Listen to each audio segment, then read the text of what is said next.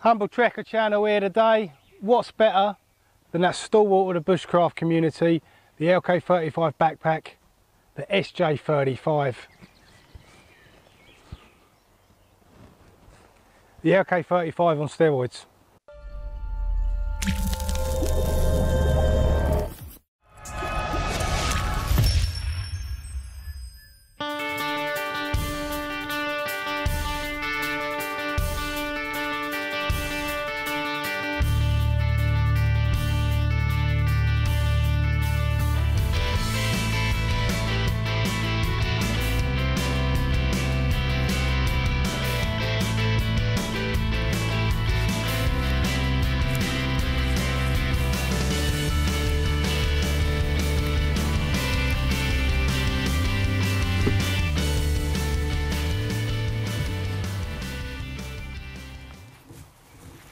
The SJ35 is like a big brother to the LK35.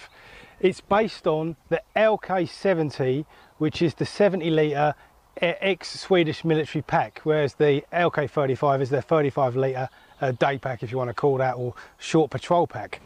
So the, uh, this SJ35, SJ stands for sjukvårdare, that's a Swedish word for medic.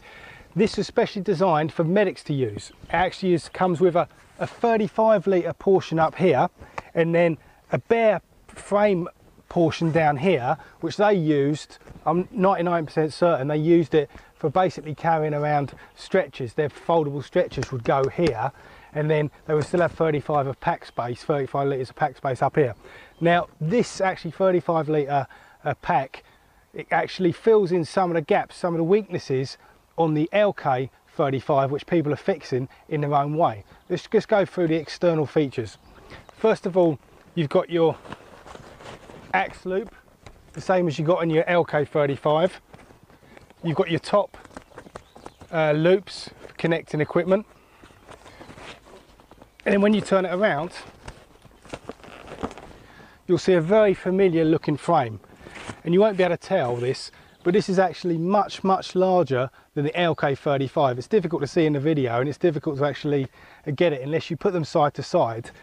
Uh, you won't actually get the picture. This is a much larger frame than you've got on the LK35. The straps, the straps are actually thicker than you'll get on the LK35. They're more padded. There's a more spongy material in there. They're still not our modern uh, lightweight backpacking, really thick foam shoulder straps, but they are more comfortable. And then this is the real, where this is a winner.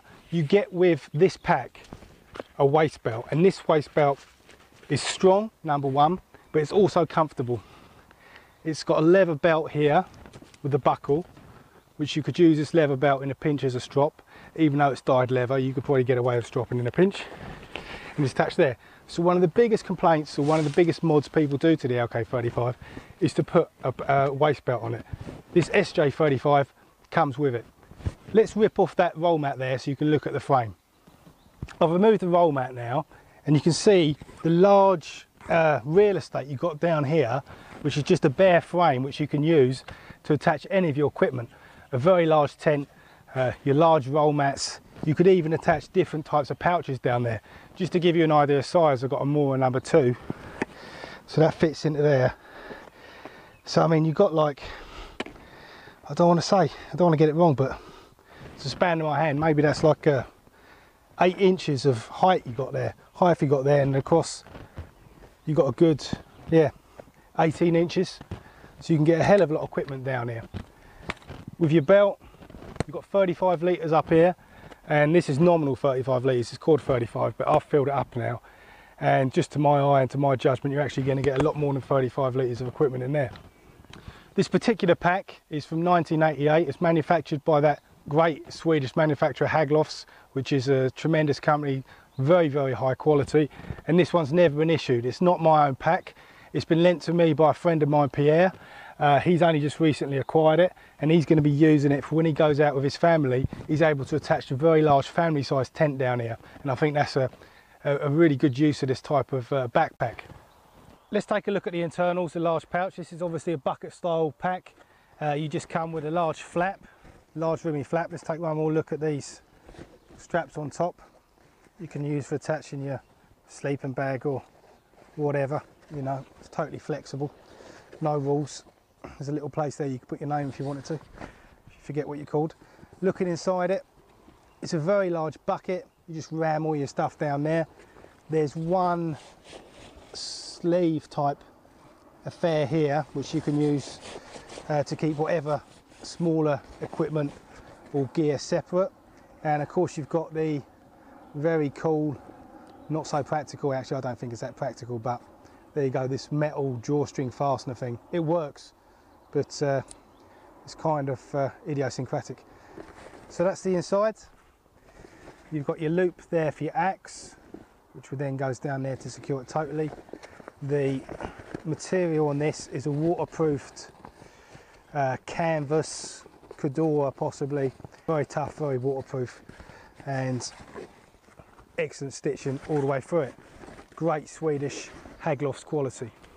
Summing up I think this SJ35L is a tremendous pack if you like the LK35, you're going to love this it's got more comfortable strapping it's got a larger frame, more possibilities for attaching equipment to the frame.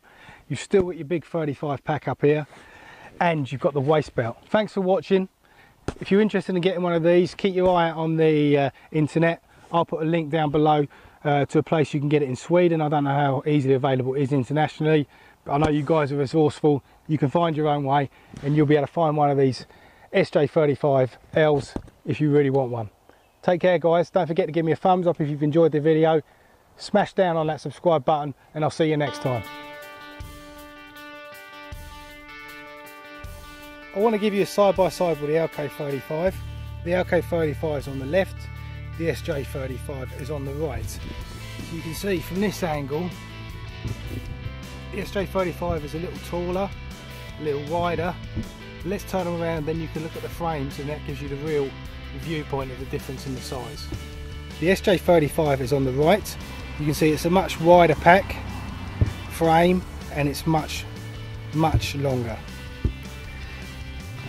If we line them up here, so we go there and then we bring it down, you can see there's about an extra four inches in, in length. And if I put the 35